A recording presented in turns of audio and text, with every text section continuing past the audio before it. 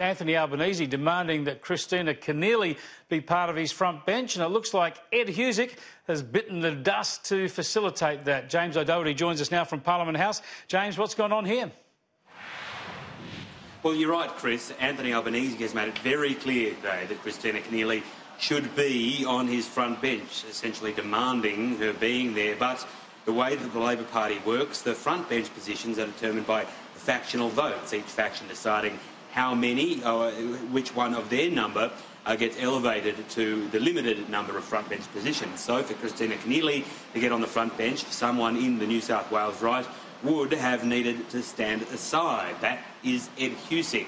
He has uh, conceded that he won't be seeking a new front bench role, taking to Facebook to announce that he's loved being a shadow minister, but he won't be running for re-election to that role. Instead, I'll be backing my great friend Kristina Keneally for that spot. He says we need to ensure someone of Kristina's enormous talents has the opportunity to make a powerful contribution to the front line in the Senate. In the aftermath of the federal election, there are things we need to do to rebuild our standing, especially in the place that I love, Western Sydney, and I'll be doing just that. He says now he says it's time to focus on uh, the election of an Albanese government. This came pretty swiftly after Anthony Albanese fronted the cameras here at Cam- in Canberra on his way into Parliament House, essentially demanding Kristina Keneally get a front bench spot.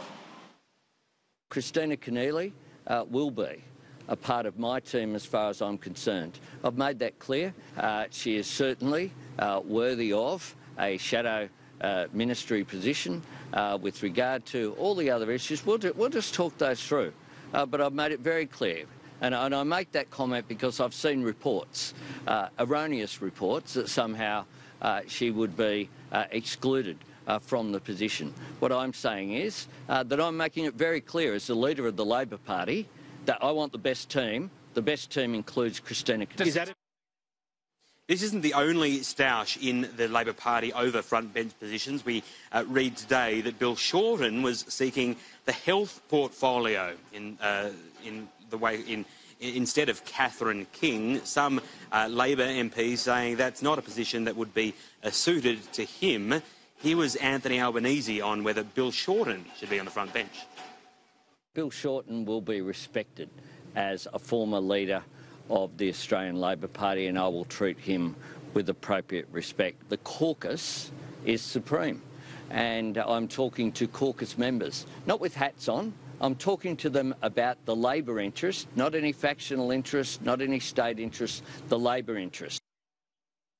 Now, while Anthony Albanese prepares to organise his front bench team, the Labor Party is still awaiting to see whether they'll get Susan Templeman back in their caucus, the uh, member for Macquarie in Sydney's West. That was going down to the wire with the margin yesterday 67 votes in favour of Susan Templeman. That has now extended out until, uh, to about 190 votes, Anthony Albanese says, but there's other, other mail that suggests the margin could be even greater for Ms Templeman after an early lead by the Liberal candidate there. Uh, I've been told that all of the uh, postal votes, which favour the Liberals, have now been counted, and now they're just counting pre-poll declaration and absentee votes, which have been favouring uh, Ms Templeman, Chris.